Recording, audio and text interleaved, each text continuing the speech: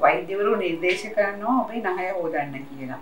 මොකද සැත්කමකින් පස්සේ ඒ වගේම නිතර පීනස හැදෙන අයට ඇලර්ජි තියෙන අයට ඒ වගේ අයට ඒ වගේම සයිනස් ආසාදන හැදුනහම ඒක ඉක්මනින් සුව වෙන්න. මොකද මේක හොයාගෙන තියෙනවා මෝදයිනේ ජීවත් වෙන අයට සයිනස් ආසාදන හැදෙනවා ඉතාමත් මඩුයි කියලා. මොකද ඔවුන් නිතරම මෝදේ නාන නිසා නහය හොඳින් සේලයින් වතුරෙන් සේදිලා යන හින්දා.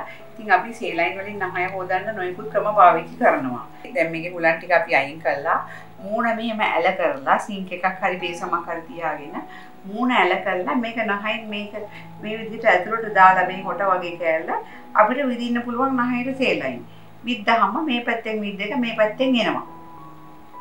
මේ පැත්තෙන් වේගෙන් විද්දාම විරුද්ධ නහයෙන් එන්නේ. හැබැයි මේක හරියට සීල් වෙන්නේ නැහැ. එහෙනම් මේ පැත්තෙනුත් එනවා. නමුත් කොටසක් මේ පැත්තෙනුත් එනවා. ඒ වගේම ඒ ක්‍රියාවලියම අපිට අනිත් පැත්තෙනුත් මූණ හොඳට මැල කරන්න ඕනේ. සිරින්ජක කෙලින් අල්ලන්න ඕනේ. මෙහෙම මේක ගන්න පුළුවන් මේ විදිහට. එතකොට මේ පැත්තෙන් ගහන ෂේලයින් එක මේ පැත්තෙන් එනවා. ටිකක් මෙහිනුත් වෙනවා මේක සීල් වෙන්නේ නැති හින්දා.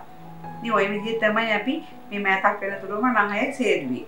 මොකද ලංකාවේ මේ තිබුණේ නෑ අපට මේ ශේලා ඉන්ද්‍රාවණය හදාගන්න පුළුවන් ක්‍රමයක්. ඇතනම මූදේ සංයුතියටම අනුව හදනවා නම් වඩා හොඳයි. දැන්ට වෙළඳපොලේ මිලදී ගන්න තියෙනවා මූදේ සංයුතියට හදපු කුඩු වර්ගයේ පැකට් එකක්.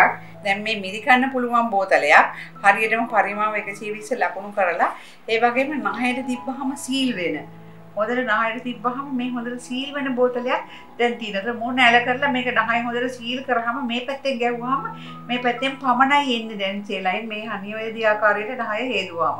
ඒකට අපිට පුළුවන් මේ බෝතලේ ඇරලා ඉස්සෙල්ලාම මේක ඇරලා ඊට පස්සේ මේ කුඩු පැකට් එක මේ විදිහට මේ කුඩු ටික අරගෙන මේකට හිස් කරලා